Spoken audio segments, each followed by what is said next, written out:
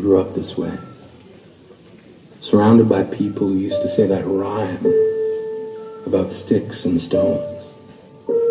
As if broken bones hurt more than the names we got called, and we got called them all. So we grew up believing no one would ever fall in love with us. That we'd be lonely forever. That we'd never meet someone to make us feel like the sun was something they built for us in their tool shed. So broken heartstrings bled the blues as we tried to empty ourselves so we would feel nothing. Don't tell me that hurts less than a broken bone. That an ingrown life is something surgeons can cut away but there's no way for it to metastasize. It does. She was eight years old. Our first day of grade three when she got called ugly. We both got moved to the back of class so we would stop getting bombarded by spitballs. The school halls were a battleground. We found ourselves outnumbered day after wretched day. We used to stay inside for recess because outside was worse. Outside, we'd have to rehearse running away or learn to stay still like statues, giving no clues that we were there in grade five. They taped a sign to the front of her desk that read, Beware of the dog. To this day, despite a loving husband, she doesn't think she's beautiful birthmark that takes up a little less than half her face. Kids used to say she looks like a wrong answer that someone tried to erase but couldn't quite get the job done and they'll never understand that she's raising two kids whose definition of beauty begins with the word mom. Because they see her heart before they see her skin, because she's only ever always been amazing. He was a broken branch grafted onto a different family tree. Adopted. Not because his parents opted for a different destiny. He was three when it became a mixed drink of one part left alone and two parts tragedy. Started therapy in eighth grade. Had a personality made up of tests and pills. Lived like the uphills were mountains and the downhills were cliffs. For fifth suicidal, a tidal wave of antidepressants and an adolescence being called popper. One part because of the pills, 99 parts because of the cruelty.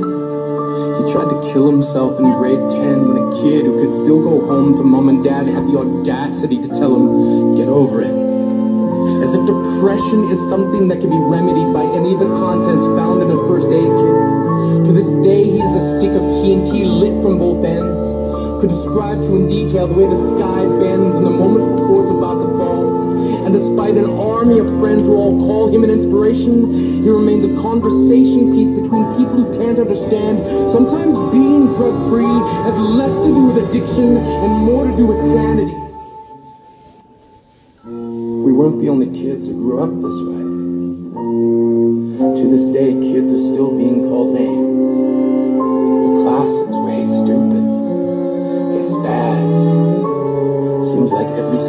An arsenal of names getting updated every year. And if a kid breaks in a school and no one around chooses to hear, do they make a sound? Or they're just background noise from a soundtrack stuck on repeat when people say things like kids can be cruel.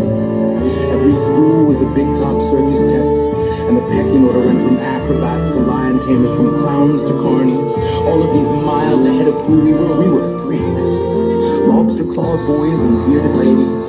Oddities juggling depression and loneliness, playing solitaire, spin the bottle, trying to kiss the wounded parts of ourselves and heal.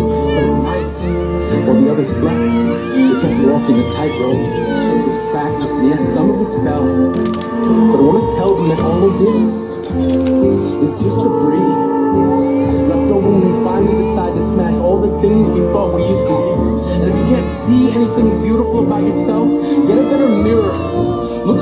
closer. Stare a little longer. Because there's something inside you that made you keep trying despite everyone who told you to quit. You built a cast around your broken heart inside of yourself. You signed it. They were wrong. Because maybe you didn't belong to a group or a clique. Maybe they decided to pick you last for basketball or everything. Maybe you used to bring bruises and broken teeth to show and tell, but never told. Because how can you hold your ground if everyone around you wants to bury you beneath it? You have to believe that they were wrong. Have to be wrong. Why else would we still be here?